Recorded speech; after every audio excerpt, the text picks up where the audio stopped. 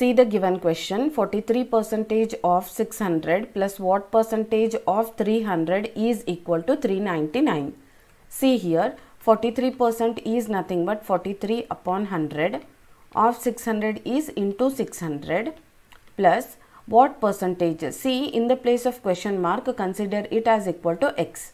Now x percentage is x upon 100 of 300 is into 300 is equal to 399 now cancel the terms. Zeros 0 zeros and zeros got cancelled. Here it is 43 into 6 plus 3x is equal to 399 again 43 into 6 is equal to 258 plus 3x is equal to 399 now send the term from the LHS towards the RHS it will become 3x is equal to 399 minus 258 which gives you the answer. 3x is equal to 141 again x is equal to 141 upon 3 which is equal to 47 now the value of x is equal to 47 that is nothing but the value of the question mark is equal to 47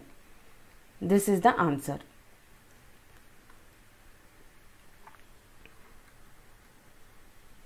D is the correct option for this question